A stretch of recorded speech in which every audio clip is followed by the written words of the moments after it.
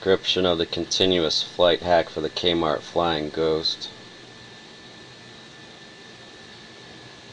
Normally it's set up to fly intermittently.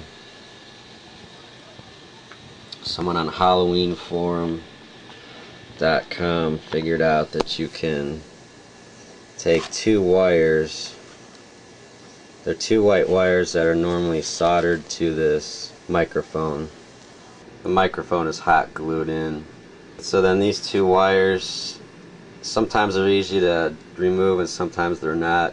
Take a pair of tweezers if you need to and twist the wires together. And I added black electrical tape, is what you see there, to hold them together. And when you turn it on,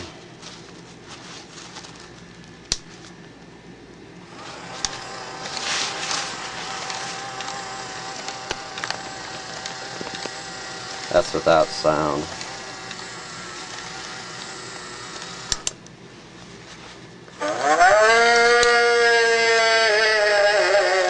That's with sound.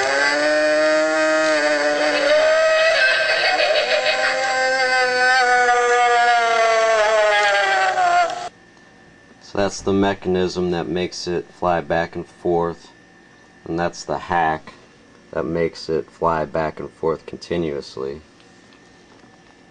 Also note that sometimes when you put these batteries in, the ghost might not fly, so just roll your thumb across those batteries and it'll set them so it makes contact and it'll fly. On old toys or ones that haven't been used in a while, you can also use Alkaline Plus batteries to give them a jolt. They're used for heavy duty electronics.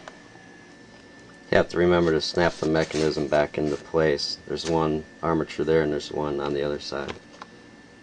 Make sure the wires on the side are all put back in place when you clamp the clamshell back together. There you can see the mechanism hooked back up on the top and the bottom. It's easiest to hook one up say the bottom one while it's open then as you're putting the two plastic pieces together put that other lever together. There's eight screws on this plastic piece. Use a Phillips head screwdriver to unscrew them. There's four on each side. Then put the lid back on the battery compartment and use a Phillips head screwdriver to put that screw back into place. You can see the foam head was hot glued to the plastic. You can hot glue it back into place or just leave it after you do the hack. Position the flying ghost. I took 1 inch 40 scheduled PVC, drilled holes at the top where the bungee cord will go through. It's a 25 foot bungee cord that comes with it. PVC is painted black with Krylon Fusion Ultra Flat Camo Black.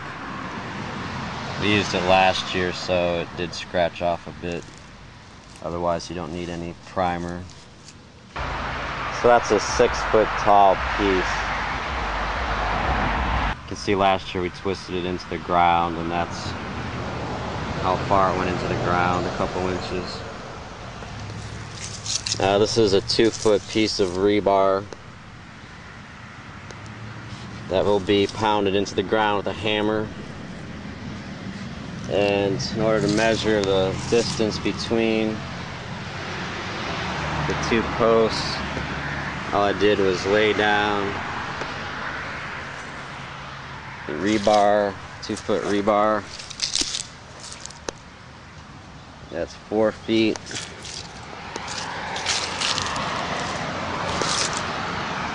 One more is six feet, so they're six feet apart.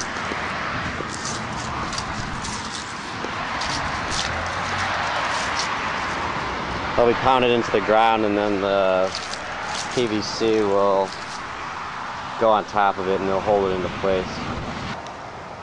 Pound the rebar down about six inches or so into the ground so it's stable with a hammer. twist the PVC, applying some pressure into the ground. So it is about two inches into the ground.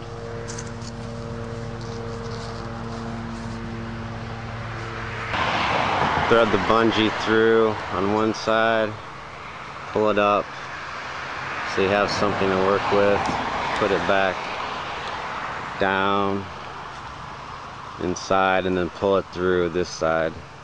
Push it through like that and then pull it through. Should be easy enough.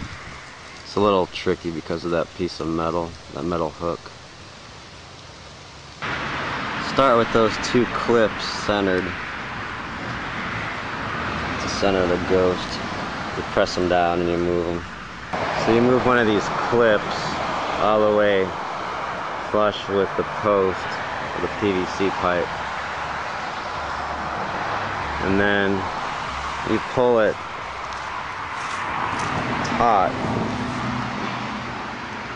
around the stake. It's a two foot stake painted black with latex paint. Um, pounded into the ground about four to six inches. And it's at an angle. So then you wrap the bungee cord around it. You can clip it to itself. And then you do the same for the other side. One person can do this. It's easier with two people, but one person can do it. So that piece of plastic inside the Kmart Flying Ghost head is pretty heavy to hold the batteries and the mechanism and the speaker and all the electronics, wiring and all that. So it will, the bungee cord will bow a little bit. That's basically how you can set one up.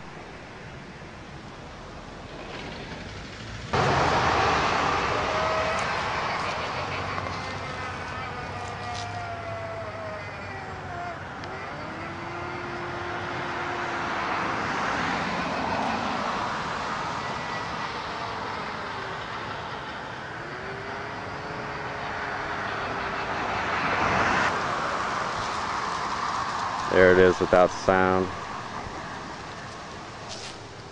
Even in the wind he flies.